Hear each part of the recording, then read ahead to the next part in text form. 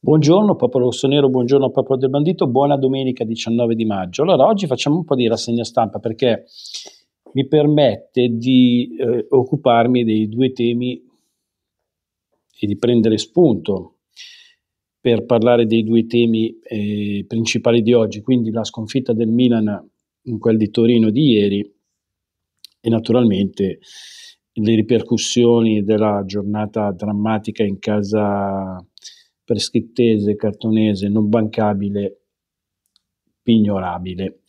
E quindi andiamo, partiamo subito, prima però mi raccomando, sempre per, per l'utilità la crescita del canale vi chiedo un like al video, di iscrivervi perché più siamo più contiamo e la campanella per le notifiche per ricevere i video. Quindi io vi ringrazio e ringraziando ancora i nuovi abbonati Domenico Rechichi, Alessandro Canni, Oreste, Guido Massari, Fabio Gianluca Cipolla, Milano Brasileira e Giovanni De Socio, grazie a tutti e partiamo con la rassegna stampa.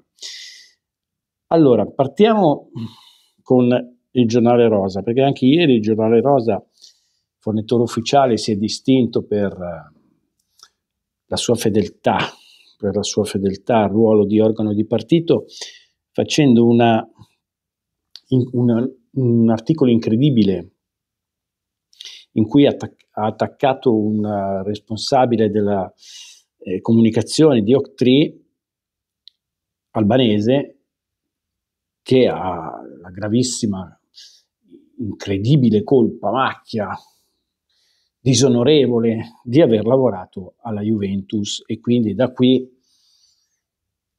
siccome Octree ieri doveva passare per il cattivone, come osa Octree far valere i propri diritti di, di creditore? Ma come osa? Ma da quando in qua uno che ha un credito eh, pretende che venga risarcito dal debitore, ma, ma come si permette Octree? Ma, ma Octree non sa con chi ha a che fare. Non sa con chi ha a che fare Octree. È una cosa pazzesca, ragazzi. Se lo sente Biasin eh, si indigna, dice ma com'è possibile? Da quando un creditore eh, vuole indietro i propri soldi? No, no, non è, non è ammissibile. Allora la Gazzetta ieri è partita con questo attacco assurdo ad Albanese la cui colpa è di aver lavorato per la Juventus, quando loro hanno Don Marotta, e qui io mi fermo perché penso che sia inutile continuare. Andiamo oltre. Inter, festa e caos. Zang accusa il fondo Octree, mette a rischio il futuro del club, ma la società può passare di mano. Allora, in sostanza è quello che dicevo ieri, ma questi fino adesso dove sono stati? Questi con che coraggio parlano? Con che coraggio dicono adesso queste cose?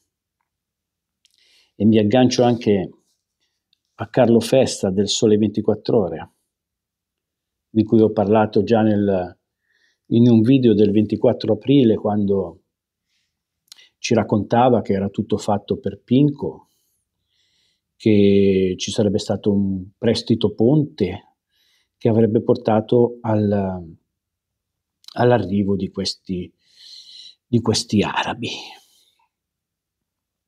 Evidentemente il 24 aprile si era sbagliato Carlo Festa.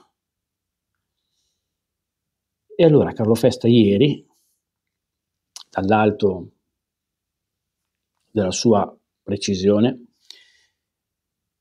ci ha detto che sì, Octree rileverà il club, ma ha già un compratore.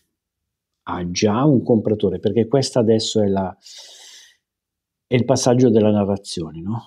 Allora, la narrazione adesso, per un paio di giorni, se proprio non ce la fanno, sarà che sono cattivoni quelli di Octree, albanese, sono cattivoni.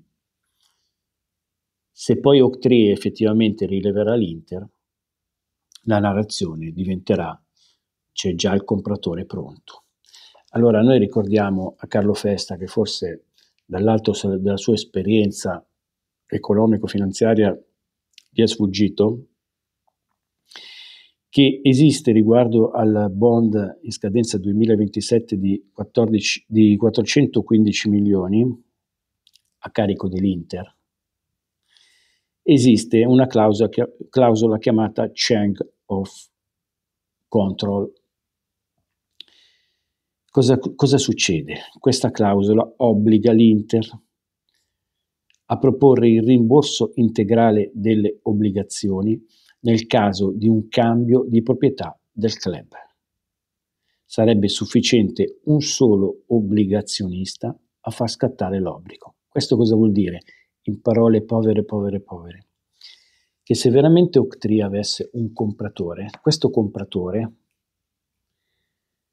oltre ai soldi che deve spendere e mettere per acquistare l'Inter, dovrebbe accumulare subito, mettere lì, come se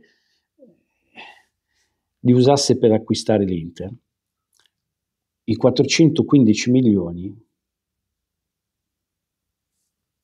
per ripagare il bond a carico dell'Inter. Quindi vuol dire il prezzo d'acquisto che chiederà Octree più 415 milioni. E allora noi saremo, vedete, non si finisce mai, di combattere contro la narrazione, non si finisce mai. Quindi noi saremo qui sulle piste di Carlo Festa in attesa che Octree prima rilevi la proprietà dell'Inter e poi vedremo se anche in questo caso si sbaglierà Carlo Festa come si era sbagliato il 24 di aprile e vedremo se ci sarà immediatamente un compratore pronto a rilevare l'Inter comprandola e aggiungendoci 415 milioni del bond. Staremo a vedere. Anche in questo caso vedremo chi ha ragione. Corriere dello Sport, poi passiamo a noi, eh, perché noi non è che ci possiamo salvare sempre parlando degli altri, dobbiamo anche parlare un po' della nostra difesa. Corriere dello Sport, la resa di Zang, a rischio la stabilità, e non lo diciamo qui sul canale del bandito rosso-nero, lo dice Zang. Octree ha in pugno l'Inter. Tutto sport. In frantumi la stella di Zang. Vorrei dire a tutto sport che non può andare in frantumi la stella di Zang, perché il cartone non va in frantumi. Niente accordo con Pinco, avventura agli sgoccioli.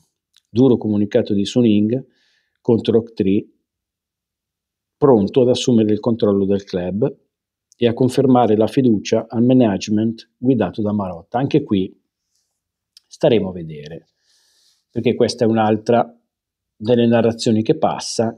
La narrazione, allora, la narrazione che avremo in questi giorni sarà non cambia nulla, Octree diventa il proprietario e mantiene tutto così com'è, perché funziona e ha già un compratore pronto che, eh, come dicevo prima, avrà 415 milioni da aggiungere al prezzo d'acquisto per ripagare il bond fatto da quell'altro e a carico dell'Inter.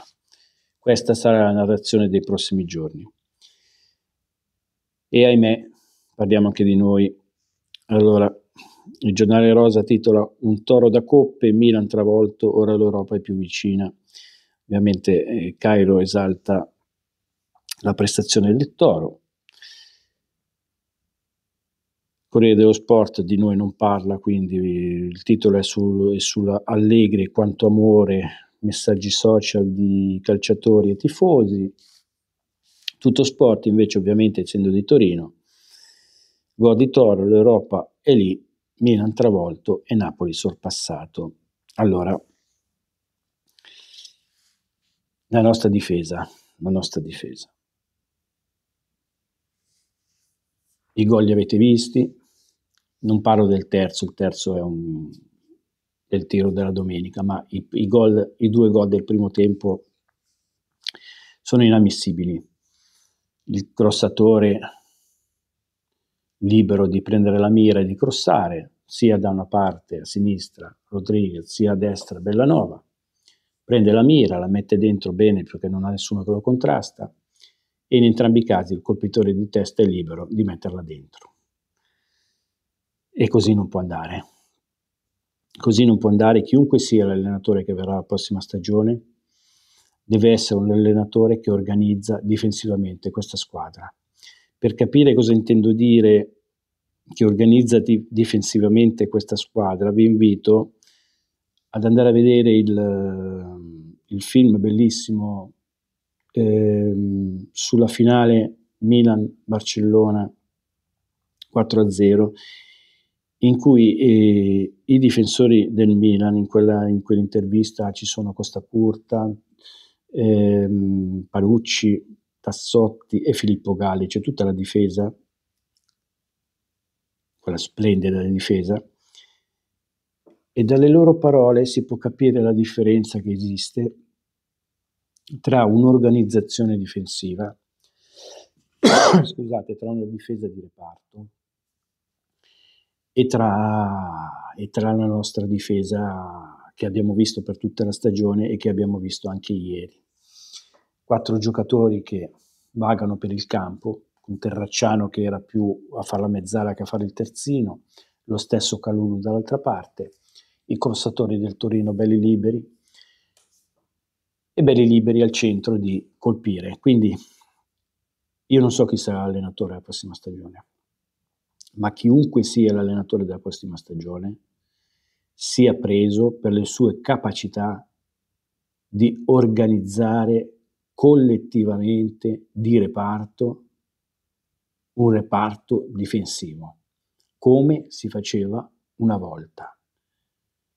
Noi avevamo una difesa che lavorava di reparto, una difesa che ha esaltato i singoli, ogni singolo di quella difesa, e avevamo un allenatore che dava molta importanza a questo e sia Sacchi che Capello che Ancelotti hanno fatto le loro fortune su quella difesa e su quella organizzazione difensiva.